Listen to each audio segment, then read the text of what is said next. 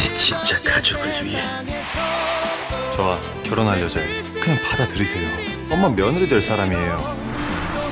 대체 그 사람 어딨어? 내가 그 사람 지킬 거야. 김지혁은 확실히 처리한 거 맞죠? 조 회장한테 배선 팔겠다. 제가 어떻게든 구워 생각 볼게요. 일단 현금 자산이 있다는 것만 확인시켜 주십시오. 아! 너조 회장이 보낸 놈 맞지 너?